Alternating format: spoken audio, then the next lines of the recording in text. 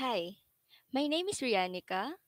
I am 20 years old and currently taking Bachelor of Secondary Education. I would like to be your teacher because I like teaching a lot.